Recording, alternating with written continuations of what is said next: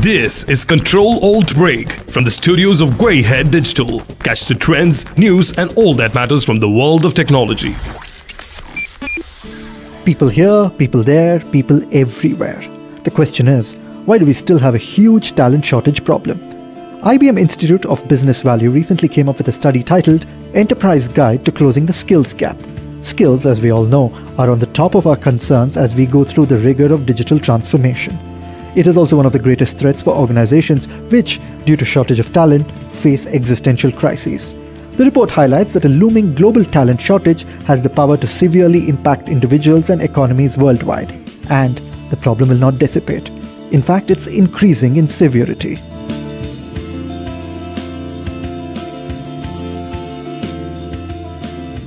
Welcome to Control Alt Break, your daily podcast from Greyhead Digital on everything from the world of technology. My name is Ashwin Raghunath. Let's dive in. This report is fascinating as much as it is worrying. 120 million workers in the world's 12 largest economies may need to be retrained or reskilled in the next three years as a result of intelligent AI enabled innovation.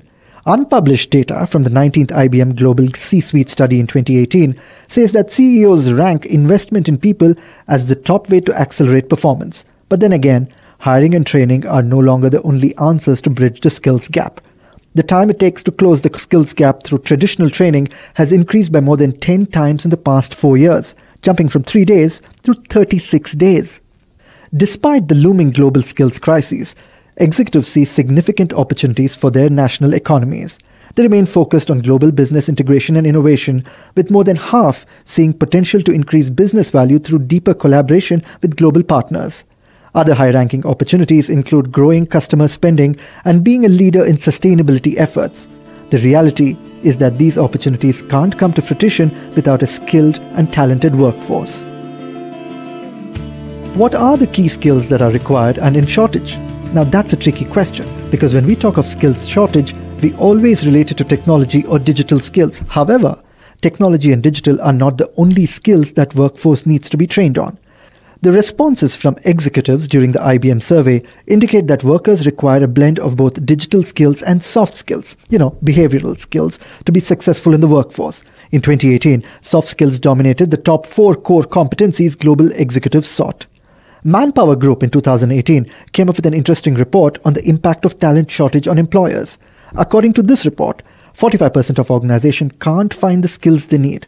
For large employers, that percentage is even higher, at 67%. Almost a third of the employers say the main reasons they still can't fill roles is the lack of applicants, while 20% say applicants don't have the necessary expertise.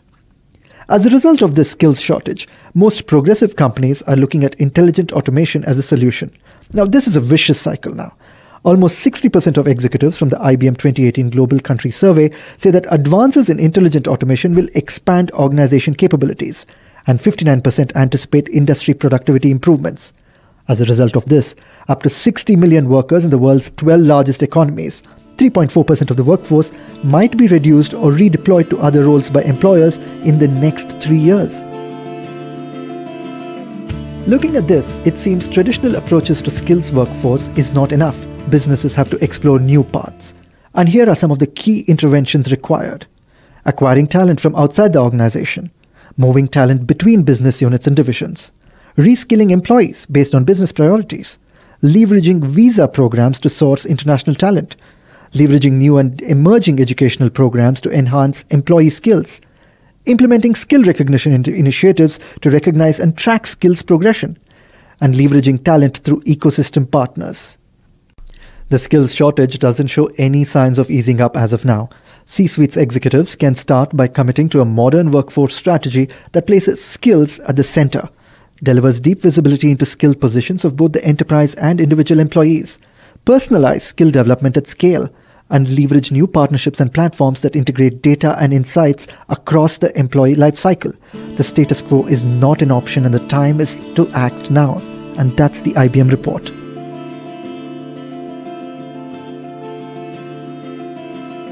We're looking to see how you have managed this conundrum. Do you not have this problem at all since you're heading into the AI world? Or are you looking at AI due to the skills problem? We'd love to know. We're listening to you on our LinkedIn channels. Look for Dynamic CISO on LinkedIn, follow us, and leave us a line. Till tomorrow, this is Ashwin signing off for Control Alt Break and Greyhead Digital.